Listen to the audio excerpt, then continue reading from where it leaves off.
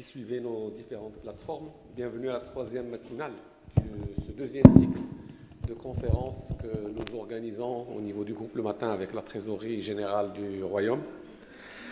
Nous allons débattre aujourd'hui d'un sujet qui interpelle la société marocaine dans son ensemble.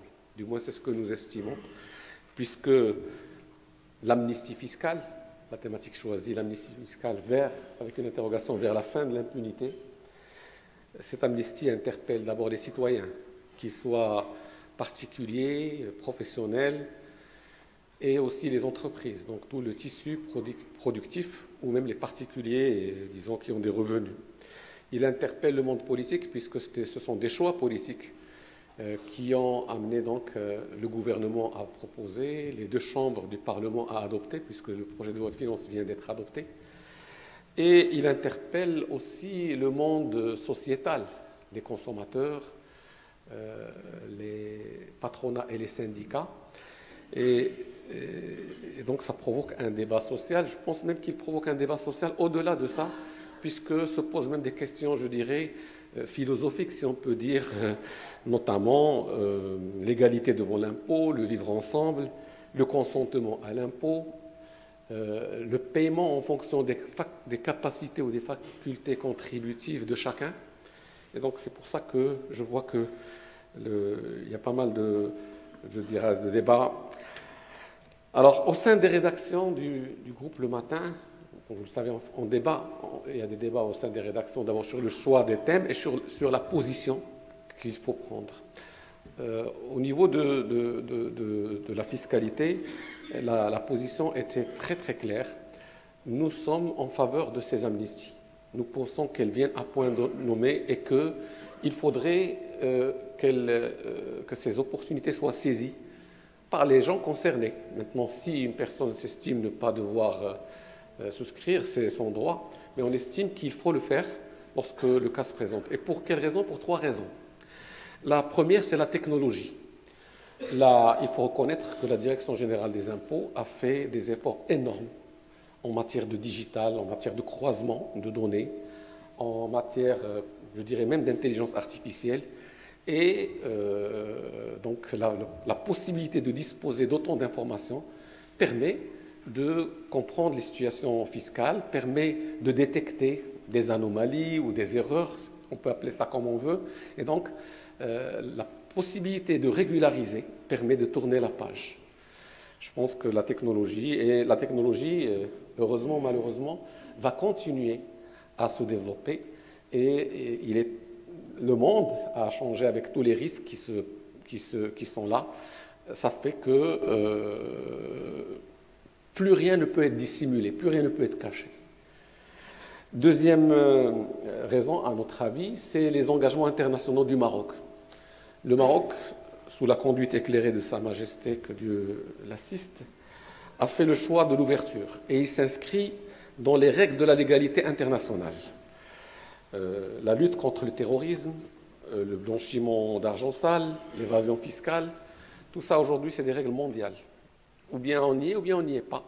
Et les conséquences, on les connaît, puisqu'à un moment donné, nous étions dans une zone grise de, des GAFA, du système qui euh, parlait de transparence ou de, et ça peut avoir des impacts sur le système financier, sur les transferts et tout ça.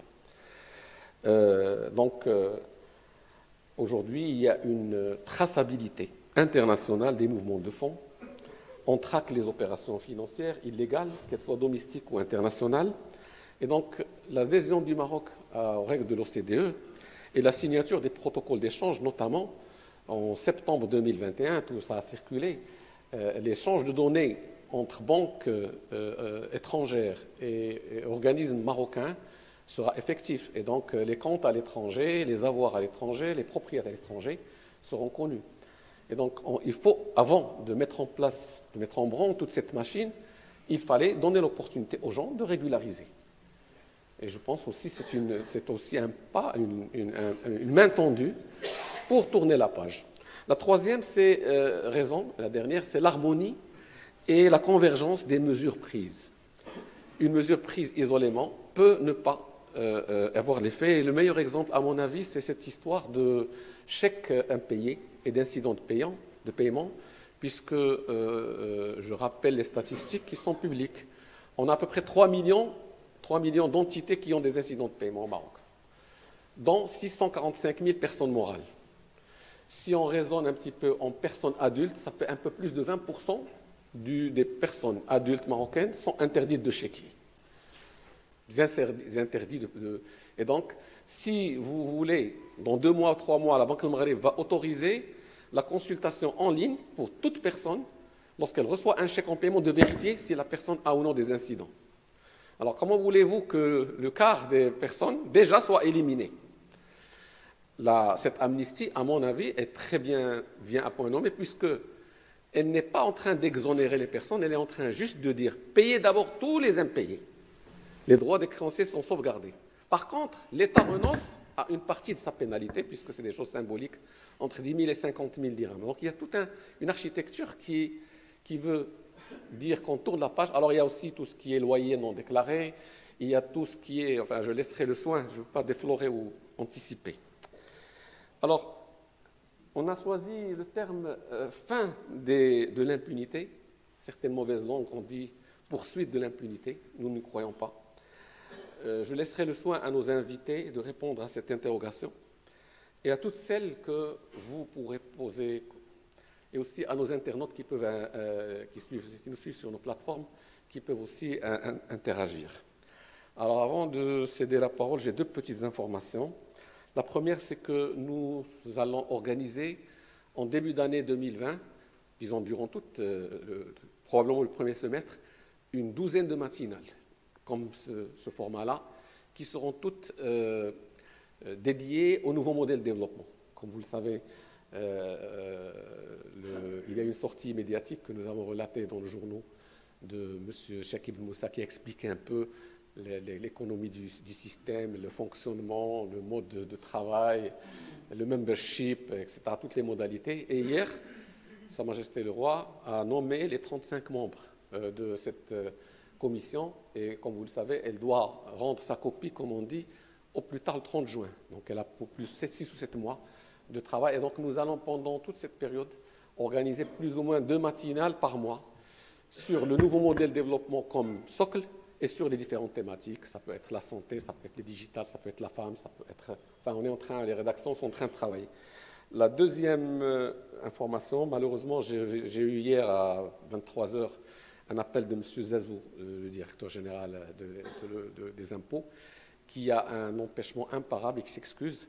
Donc nous allons essayer d'avoir quelqu'un qui va nous rejoindre, mais il s'est excusé de ne, de ne, pas pouvoir être, euh, vous savez, avec ses, ces questions fiscales et ces, ces, réunions de commission.